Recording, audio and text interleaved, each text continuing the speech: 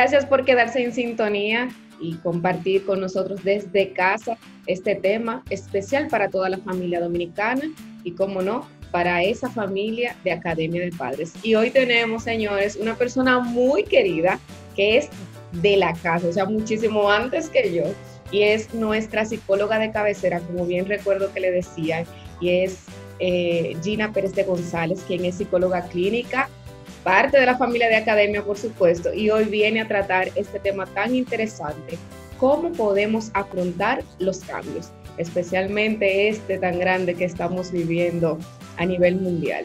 Bienvenida, Gina. Gracias, chicos. Para mí es siempre un placer, una gran alegría el poder compartir con ustedes. Yo siento que vuelvo a casa cuando estoy con ustedes. ¿Cómo está tu familia? Cuéntanos que está, dinos que está bien, ¿cómo anda todo por allá? Hay noticias, gracias A Dios, gracias a Dios estamos bien en la familia, todos bien de salud, eh, cuidándonos mucho, eh, acatando todas las eh, directrices que nos dan nuestras autoridades para nuestro bienestar. le decía a Franklin ahorita que estoy ya esperando mi nieta, ya, ya, ya, ya, ya, ya, bueno.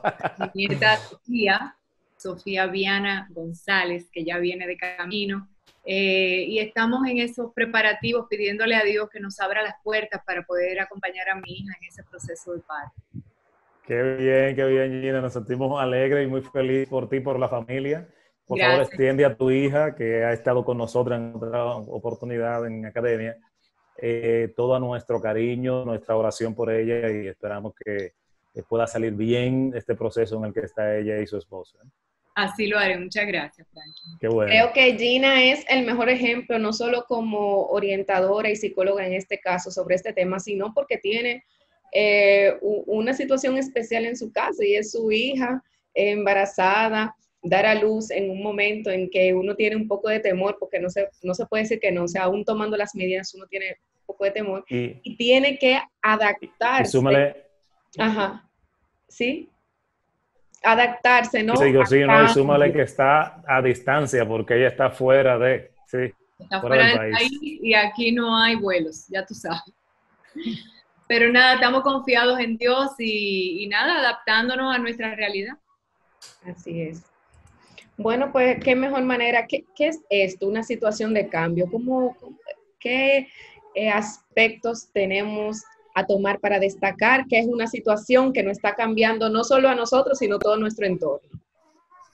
Bueno, la verdad es que ha sido una sorpresa. nosotros nos agarró de sorpresa eh, el cambio drástico al que tuvimos que someternos, yo digo que hasta repentinamente porque cuando a mí por lo menos me llegó la noticia de que eh, habían declarado que todo el mundo en sus casas, que cuarentena, que nadie podía salir, a mí me agarró desprevenida, o sea, uno no estaba preparado, todo el mundo se tiró a los supermercados, a los mercados para guardar comida porque no sabíamos lo que iba a pasar. Entonces, eso fue un shock. Nos, de repente nos comenzamos a levantar, estábamos todos en la casa sin saber qué hacer cómo organizarnos, cómo vivir una, una, situación, una experiencia que nos llenaba de incertidumbre, de angustia, no sabíamos cómo hacer. Ese ha sido como, vamos a decir, el background de, de toda esta situación con la que estamos conviviendo ya hace más de 40 días, ¿no? Eh, estamos en la casa.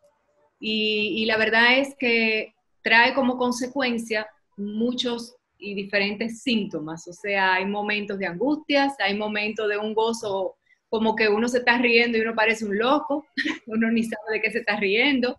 Eh, tenemos momentos de mucha creatividad, se nos ocurren hacer muchas cosas, pero en otros momentos nos sentimos tristes, tenemos deseo de llorar. Eh, o, no, o, no, tenemos sueño. Yo he tenido, por ejemplo, días que despierto 3, 4 de la mañana y ya no puedo conciliar sueño. Exactamente, es, es otro síntoma. Son muchas las personas que están sufriendo de insomnio, incluida yo. Eh, por, eh, eh, son los pensamientos, es la ansiedad, es el cambio de horario, es el no saber qué va a traer el porvenir, qué va a pasar en el mundo. Se está hablando de muchas cosas y parte del problema de que nos estamos comportando de esta manera y estamos viviendo esta situación de esa manera tiene que ver también con los mensajes que estamos recibiendo. Hay muchos mensajes positivos que nos llenan de esperanza, que nos hacen ver que las cosas están bajo las manos de Dios y bajo su gracia y que todo obra para bien, como dice la palabra, pero también recibimos un gran bombardeo de personas que hacen unos análisis muy profundos, muy circunstanciales, muy, no sé ni cómo expresarlo, donde los mensajes son bien catastróficos. Estamos hablando de que hoy la OMS, yo comencé a leerlo y lo, lo, saqué de mi, de mi vista, porque ¿qué hago yo con saber eso? Dice la OMS que probablemente lo próximo que venga sea una gran hambruna en el mundo. Eh, bueno, pero es algo que no podemos eh, manejar, que no está en nuestras manos. Entonces, ¿qué es lo que nosotros sí podemos manejar? ¿Qué es lo que nosotros sí podemos hacer para tratar de mejorar el ambiente en, el donde, en donde nos encontramos enclaustrados todos juntos como familia? Y ahí es donde entran las diferentes eh, opciones de reorganizarnos. O sea, tú sabes que el duelo, nosotros estamos viviendo un duelo porque hemos pasado por una crisis que, que nos ha llevado a un cambio de vida eh, que hemos tenido que vivir un duelo, no podemos salir, no podemos ir a visitar a nuestros padres, no podemos dar abrazos y besos a toda la gente que queremos, o sea, son situaciones fuertes.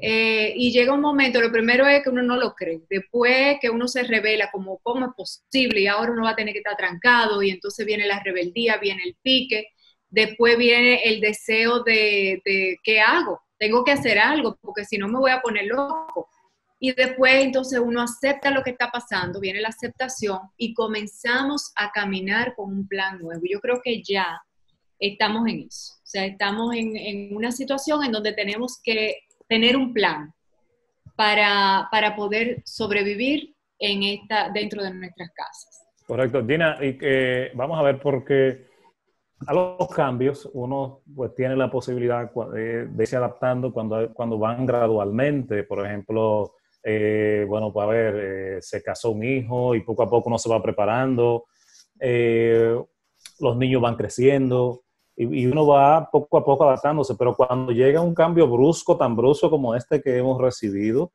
¿cómo adaptarnos a eso, a ese tipo de cambio así tan brusco en la vida que, a veces nos sacuden fuertemente?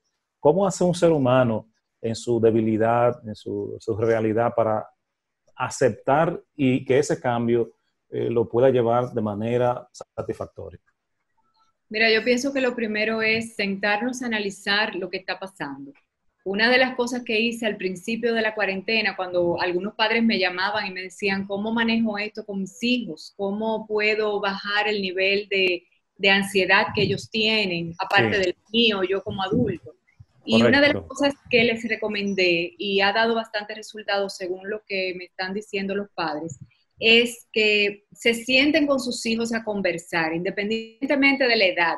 Obviamente con cada edad de una manera distinta, porque por ejemplo no es lo mismo hablar, tú Franklin, que tiene una niña de 10 años, que con una niña de 3.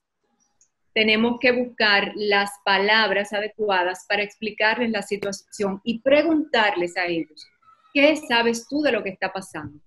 ¿Qué es esto de coronavirus? ¿Qué, qué significa esto? ¿Qué es lo que tú has oído por ahí? ¿qué dudas tú tienes? A lo mejor yo no tengo toda la respuesta, pero por lo menos me entero de qué está pasando por la cabeza de mi hijo o de mi hija y cómo yo puedo ayudar para que ellos, dentro de este marco de, vamos a decir, de tragedia, puedan encontrar la esperanza y el cambio. Vamos a estar viviendo así, esto ha pasado otras veces, los abuelos lo vivieron de otra manera, con otras circunstancias, pero han salido adelante y mira cómo ya están.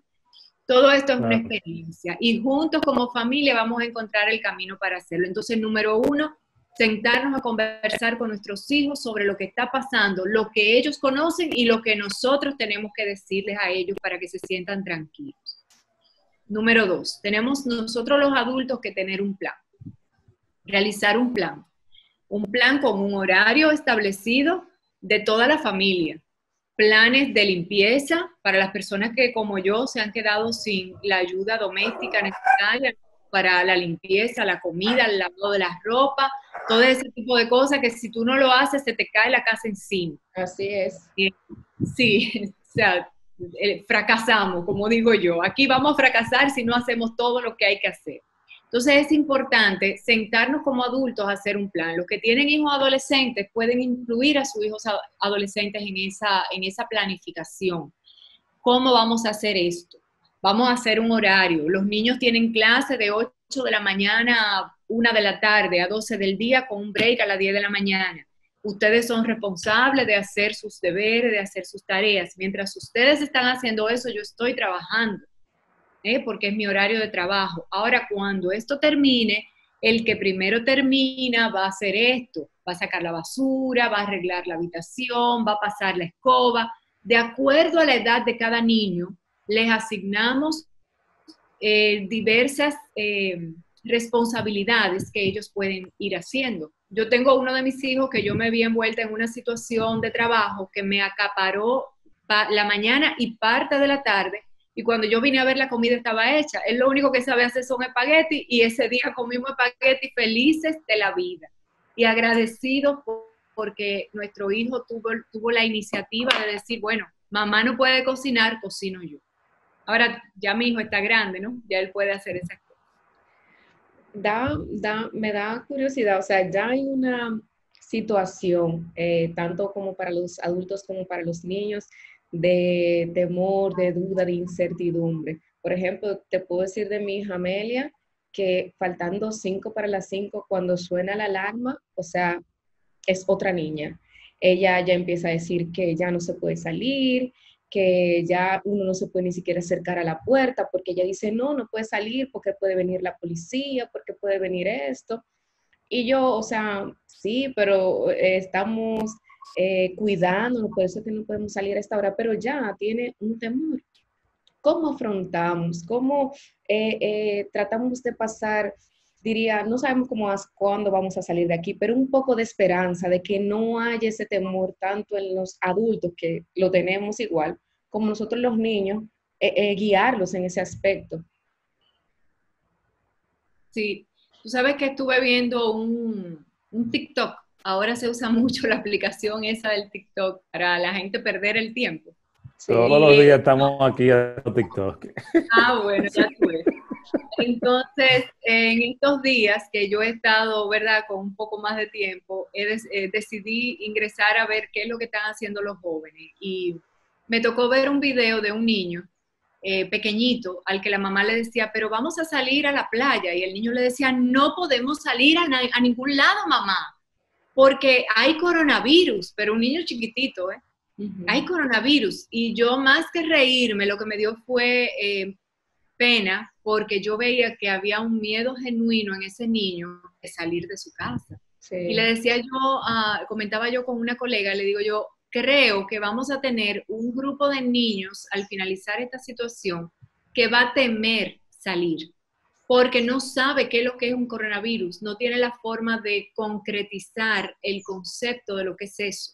Y solamente entiende lo que le están diciendo sus padres. No podemos salir porque hay un virus que mata gente que está en la calle. Entonces yo creo que, mira, lo, lo, más importante es que nosotros seamos los modelos de bajar un poco la ansiedad y el estrés para que podamos modelarle a los niños que no hay que volverse loco porque eso está pasando y darle siempre la esperanza. Cuando esto pase, vamos a poder volver a ir a la playa, vamos a poder volver a, volver a ir al parque, vamos a poder volver a ir a jugar. O sea, comenzar a proyectarle lo que va a pasar y hacerle ver que esto es un momentico y que esto va a pasar. O sea, que lo ideal es hacer plan a futuro de actividades, o sea, motivarlo con eso motivarlos con lo que vamos a hacer cuando salgamos de esta situación, explicarles que no hay que estar asustados porque, y, dentro de lo posible, enseñarle qué es lo que es un virus, porque el niño no, en su cabeza no entra el concepto de lo que es un virus. Un virus puede ser una persona que se llama virus, que anda con un arma matando gente. O sea, hay que ver qué es lo que ellos están interpretando por esto y nosotros podérselos explicar. Pero también el niño va a reaccionar de acuerdo a lo que él percibe que están viviendo sus padres. Si sus padres están mostrando vivir una tragedia que, que no tiene eh, escapatoria, que, que, nos vamos a morir todito, que tenemos una mamá que está llorando por todas las esquinas, un papá que se está arrancando los cabellos de la angustia, el niño va a reaccionar igual. porque está viendo que es una desgracia, eh, que no, no hay esperanza. Mientras tanto, nosotros modelamos otra cosa que vamos a ir haciendo mientras tanto. Mira qué bueno que podemos compartir en familia, que hace tiempo que no nos sentábamos todos juntos a compartir, a hacer rompecabezas, a tener momentos de, alegría. Me decía alguien ahorita que su niña le llenó la bañera de jabón porque quería bañarse en una piscina. Entonces debemos de incluir dentro de las actividades un momento de piscina a la semana o dos momentos de piscina a la semana. Vamos a poner el traje de baño, vamos a llenar la, bañera de, agua con burbujas y vamos a, reírnos y a relajar un ratito. Si tienen patio, jugar con la manguera con este calor que está haciendo. Eh, coger un poco de sol también ayuda bastante. Ejercitarse, tanto el adulto como el niño, para botar un poco esa ansiedad y ese estrés. Y tratar de comer lo más sano posible. Todo eso. Eh, Gina, sí. Eh, Gina, eh, perdona que, te interrumpa, pero sin duda que, esta pandemia, y bueno, hemos visto que, los grandes cambios de, la humanidad han, han sido, digamos, han tenido detrás unos fuertes, unas fuertes acciones, un fuerte eh, podemos hablar incluso hasta de los momentos en que hemos estado en conflictos bélicos muy fuertes y que eso ha generado un cambio ¿no? en, la, en la conducta y en la manera de manejarse la sociedad. Podríamos, y ustedes los, psicólogos pueden eh, eh, ayudarnos a identificar cuáles serían esos cambios, esos grandes cambios que veremos en la sociedad, en nuestras relaciones cotidianas y a los, a los cuales deberemos indudablemente que adaptarnos a, esos cambios. ¿Podríamos ya ir mirando algunos de esos eh, cambios posibles que nos dejará esto? Yo creo que sí, yo creo que ya podemos vislumbrar cambios eh, importantes en la sociedad. Fíjate que lo que creíamos prácticamente imposible se está haciendo. Fíjate que decíamos, por ejemplo, que la educación eventualmente llegaría a ser virtual eh, en algunos aspectos, porque la socialización es muy importante, pero hemos migrado hacia una educación virtual sin proponerlo y sin quererlo, y lo estamos haciendo en muchas plataformas y en ciertos ambientes, porque, toda, porque hay circunstancias, ¿verdad?, que no, no permiten que se desarrolle como debe de ser. Pero en la gran mayoría de los colegios privados y las universidades están desarrollando un, una forma de enseñanza totalmente distinta y está funcionando. ¿eh? Estamos viendo que se puede trabajar desde la casa, que no necesariamente hay que estar todo el día metido dentro de una oficina, gastando energía, gastando... Ya de hecho en algunos países desarrollados se, tiene como opción que el trabajador pueda decidir si va a la oficina o se queda en su casa. Entonces, eh, sí, yo pienso que en ese aspecto va a haber cambios importantes. A nivel de eh, consumo, si somos inteligentes, debemos ser afectados positivamente por esta experiencia. Porque una de las cosas que hemos ido identificando es que nosotros no necesitamos ni la tercera cuarta parte de todo lo que nosotros tenemos. Ahora mismo yo lo único que necesito son pijamas, más nada.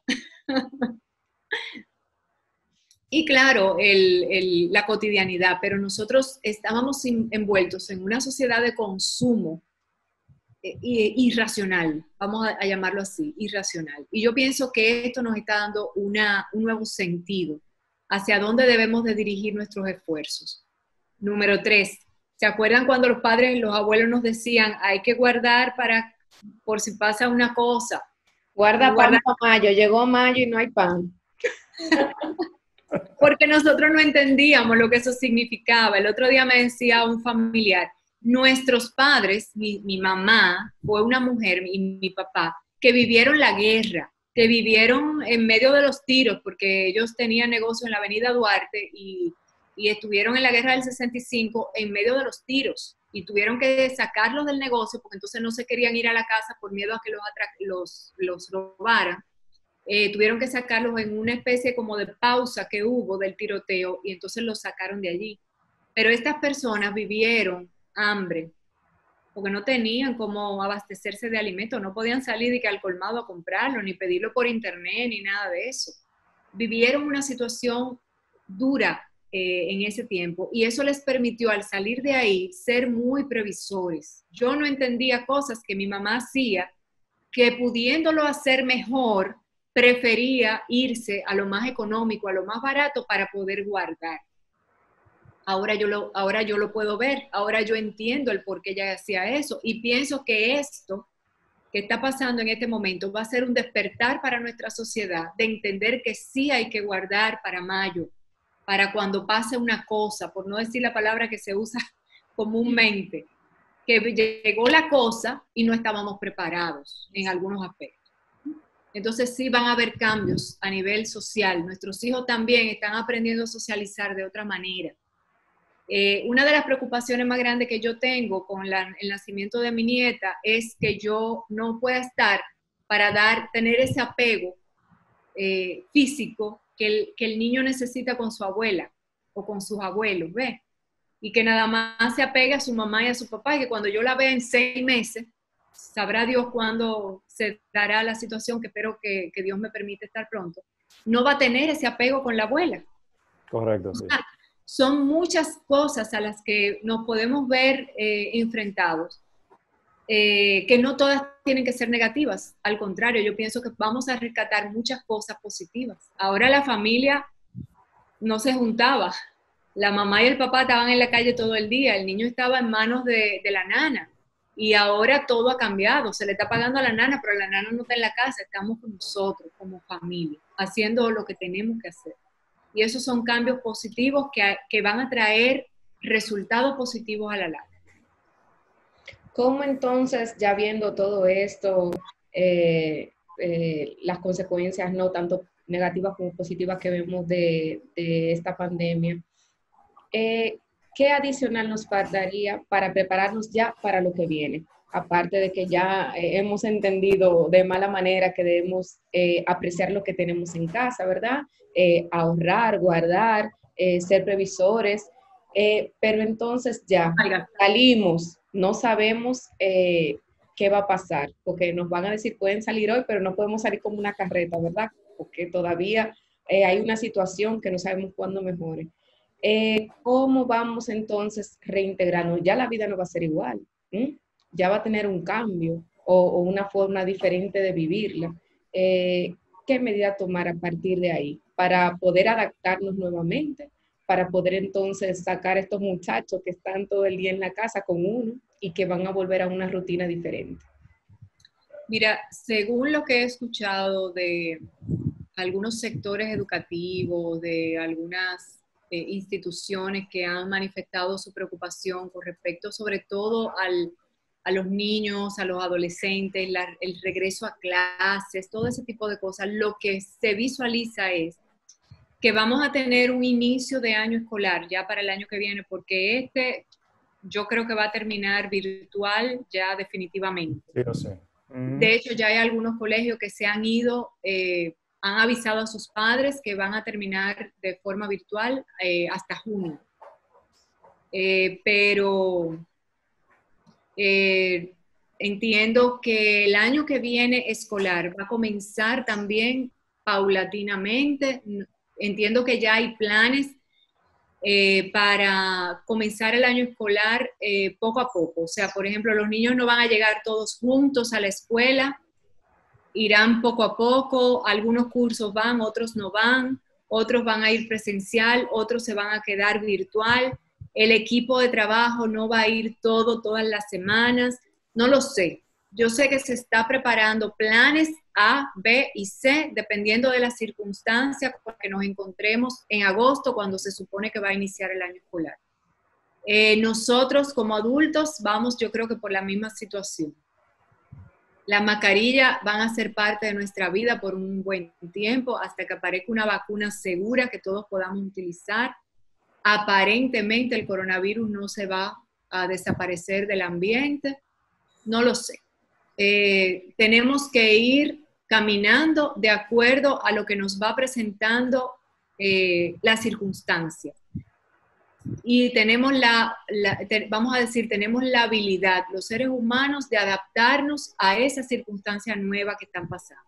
Y así lo vamos a ir haciendo llevando a nuestros hijos de la mano, explicándoles las cosas con paciencia, siendo nosotros mismos pacientes, entendiendo que hay que buscar recursos ahora. Por ejemplo, las personas que han perdido su trabajo tienen que buscar recursos para retomar el ingreso, ya sea haciendo postres, ya sea haciendo comida, ya sea eh, haciendo delivery.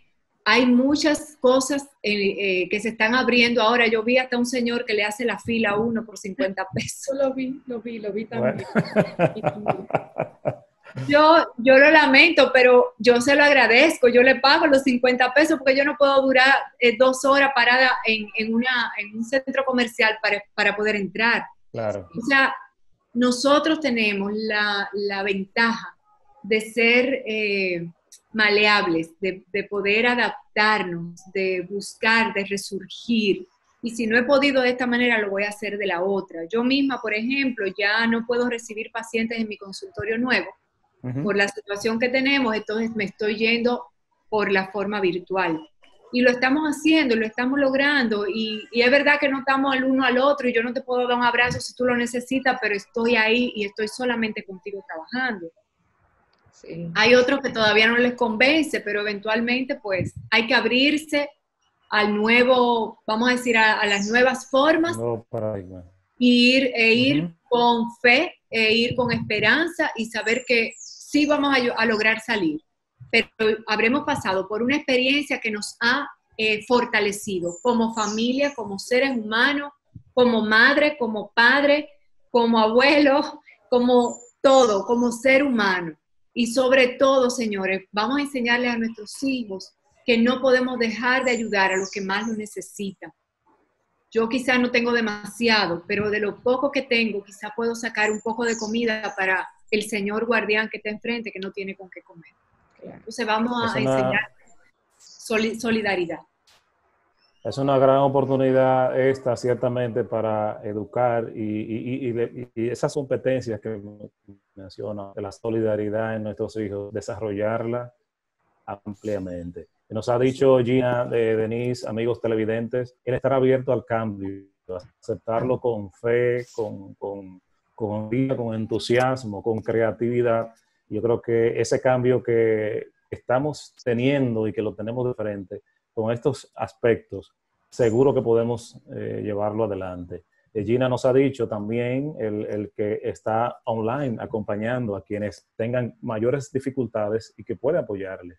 De tal manera que es una herramienta que tenemos, ella sigue dando sus consultas por esta vía y si usted que está allá necesita, puede, puede tener la confianza que, que es una persona con, con mucha fe, con mucha capacidad y que seguro va a tener una opción para que juntos salgan adelante con esta situación. Gina, a propósito de eso, si, podemos contactar, dónde te contactamos, a través de redes sociales, por qué medio conseguimos tener contacto contigo, por favor.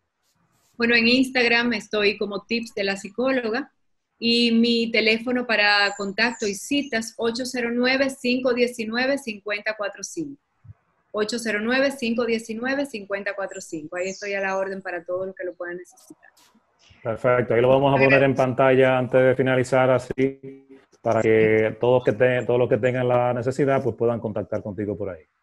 Gracias. Pues agradecemos a nuestra querida Gina. Eh, Gina, señores, es un nombre eh, de cariño porque es Regina, ¿verdad? Que, que se llama. Sí. Así es, así es. Así es. Y yo cuando la primera vez que conozco Regina, y yo Regina, no, es Gina. Me gusta mi nombre Gina. Y yo, oh, gracias. Pueden decir como Es así, es así es. Bueno, pues nuevamente muchísimas gracias por estar aquí, por poder acompañarnos y poder brindar un poco de tu conocimiento y nada, darnos tranquilidad, ¿no? Que podamos afrontar los cambios con todas, con todos esos consejos y podamos al final seguir caminando. Debemos de ir paso a paso y día a día y entonces de verdad, muchas gracias por todos esos consejitos y esos tips. Así que... A ustedes por invitarme, gracias. Bye, bye. Gracias Gina, gracias. Bueno amigos, ya ustedes les, vieron ahí. Eh, sigan estos consejos que Gina, ojalá lo hayan notado. Eh. Si no, lo vamos a poner también en YouTube, este encuentro con ella para que lo puedas rever otra vez y entonces ir tomando pie a pie, letra a letra, los consejos que nos da. Gina, gracias. Gracias por, como habían dicho Denise, por estar con nosotros. Nosotros vamos a continuar, señora, porque hay mucho contenido, hay muchas cosas interesantes aquí para ustedes en Academia de Padres. No se